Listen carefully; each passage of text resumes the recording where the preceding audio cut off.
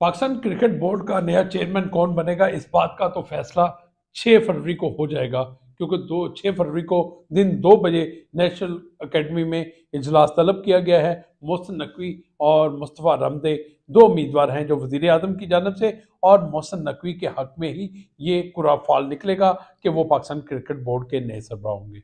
दूसरी जानब, Pakistan super league का नौवा एडिशन है जिसके ब्रॉडकास्टिंग राइट भी इस मरतबा बहुत भारी रकम उसमें पाकिस्तान क्रिकेट को मिली है जिसका पचानवे फ़ीसद जो हिस्सा है, वो फ्रेंचाइजर को जाता है। उम्मीद है, ये है कि अब फ्रेंचाइजर भी पाकिस्तान के इस फैसले से ब्रॉडकास्टिंग राइट की फ्रोग से काफ़ी हद तक मुतमिन होंगे।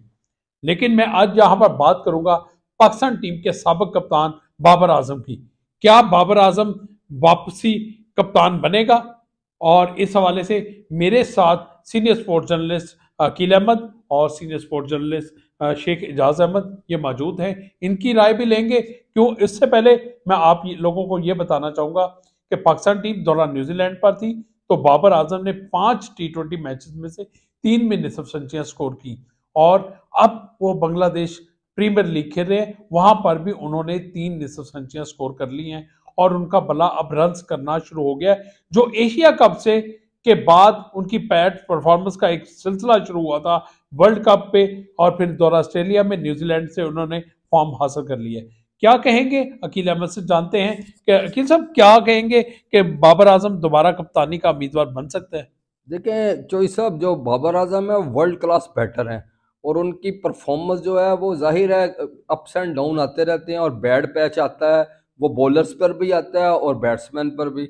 वो एक बैड पैच था और जिस तक लेवल के वो बैट्समैन है, बाबर आज़म, वो रन्स तो उनका बल्ला जिस तब उगलता है तो फिर वो सेंचुरी भी करते हैं और निसब सेंचुरियाँ भी करते हैं। और अब मुझे लगता है कि जो बैड पैच है, वो गुजर गया और उनकी फॉर्म बहाल हो गई है। जहाँ तक बात है उनके दोबारा कप्तान बनने की तो इसका फैसला जो है, वो चेयरमैन पीसीबी जो नए आएँगे, वो करेंगे उनकी किस्मत का फैसला। क्या उन पर किस्मत की देवी मेहरबान होती है? इसका तो ज़ाहिर है, अभी ये तो खुदा ही जानता है तो यहाँ जो नए चेयरमैन होंगे वो करेंगे।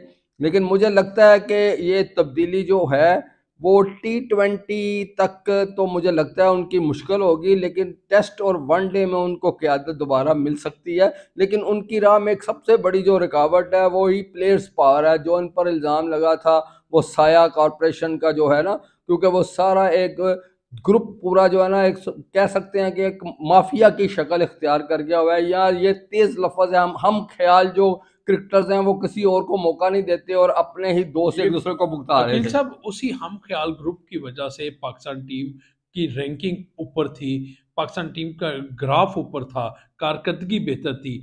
तो हमने जैसे ही वो हम ख्याल ग्रुप को तोड़ा हमारी कारकर्दगी का ग्राफ आपने दौरा ऑस्ट्रेलिया में भी देख लिया, न्यूजीलैंड में भी देख लिया। देखें, ये बात इससे मैं इतफाक नहीं करता क्योंकि हम ख्याल जो थे, वो एशिया कप में भी थी और वर्ल्ड कप में भी थे। तो उसमें भी तो कारकर्दगी बुरी थी, यही वजह बनी थी कि उसको तोड़ा गया। आप कह सकते हैं कि प्लेयर्स पार जो थी, जो इजाज भट्ट साहब के दौर में भी थी जो मरहूम सबक चेयरमैन है, और उन्होंने भी प्लेयर्स पावर का खात्मा किया था, और उसके बाद जका अशरफ ने भी साहब ने भी कोशिश की है ये प्लेयर्स पार का खात्मा करने की। ये प्लेयर्स पार, नो डाउट के आपके जब जहाँ रहते हैं, आपके रिलेशन भी होती हैं, दोस्तियाँ भी पक्की हो जाती हैं, लेकिन पाकिस्तान जो है, वो सबसे पहले और इसके पर किसी किस्म का समझौता नहीं होना चाहिए। ये बात तो दुरुस्त है कि सबसे पहले पाकिस्तान और पाकिस्तान के नाम पर कोई किसी किस्म का समझौता नहीं होना चाहिए, चाहे वो कितना भी बासर खिलाड़ी क्यों ना हो। अब मैं शेख एजाज साहब से पूछूँगा, बाबर आज़म के मुतालिक आपकी क्या राय है?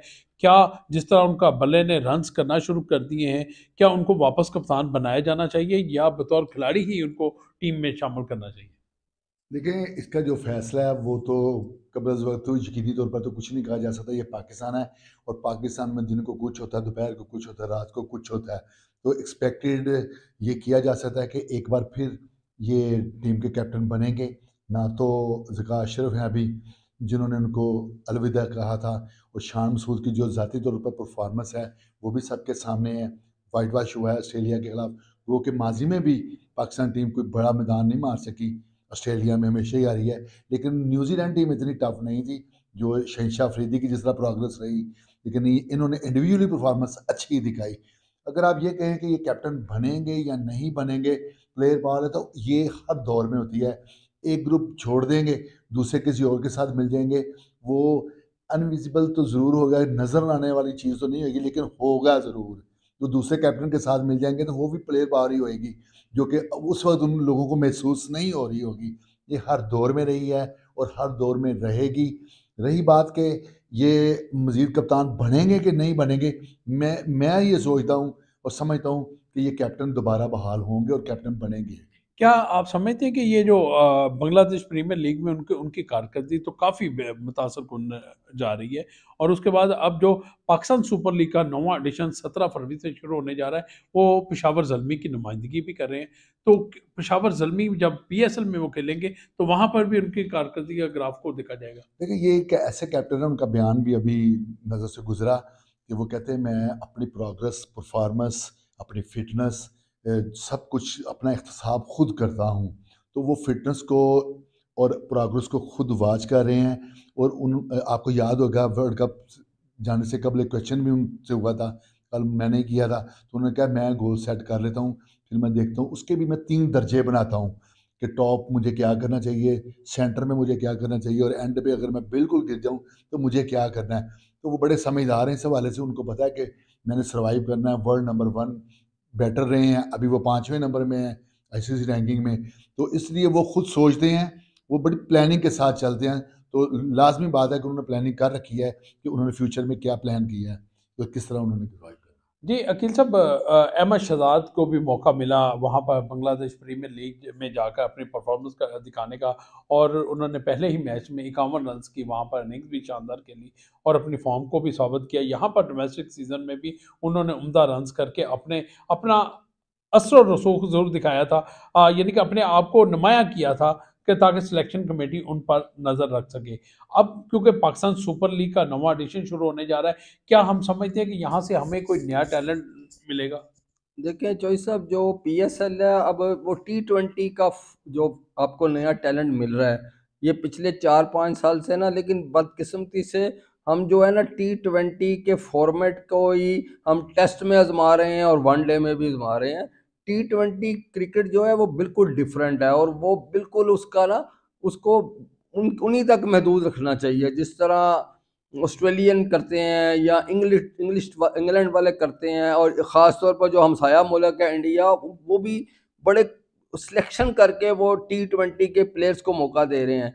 अब ये नया टैलेंट तो ज़ाहिर है, जब इतना बड़ा मेला सजेगा जो सत्रह फरवरी से सजना है और उसमें काफ़ी नए एमर्जिंग प्लेयर्स भी और जिन्होंने परफॉर्म किया, उनको मौका मिलेगा और उन्हें चाहिए कि वो अपनी सलाहियतों का लोहा मनवाएँ और दस्तक दें और अपनी टीम में नेशनल टीम तक रसाई हासिल करें। आगे वर्ल्ड कप है, हो सकता है कि उन्हें टी ट्वेंटी वर्ल्ड कप जो अमेरिका ऑस्ट्रेलिया वेस्ट इंडीज़ में होने जा रहा है, उसमें उन्हें भी मौका मिल सकता है, क्योंकि ये टी ट्वेंटी फॉर्मेट जो है ना नौजवानों का है खेल। इसमें काफ़ी स्ट्रगल करनी पड़ती है, तेज़ गेम है तो उसमें नौजवानों को ही आगे आना चाहिए।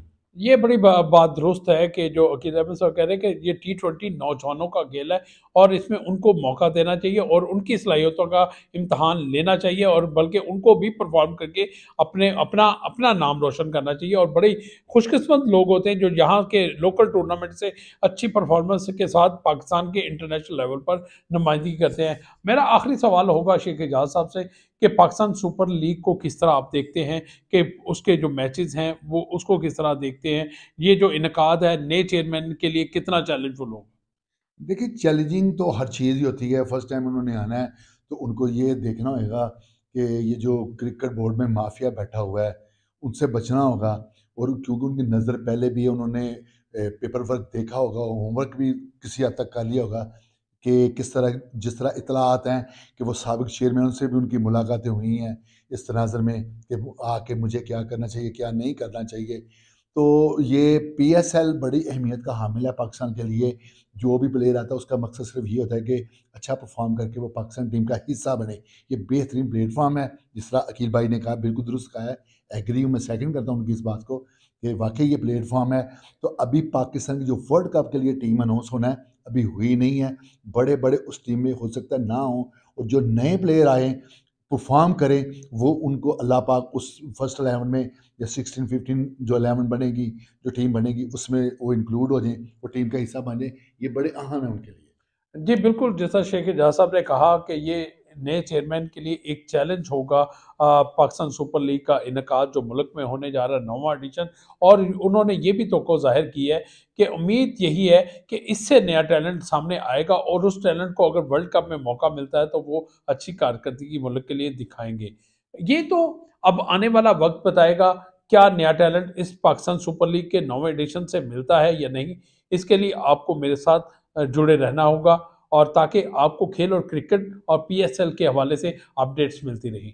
इतना ही था मेरा आज का प्रोग्राम अल्लाह हाफिज़।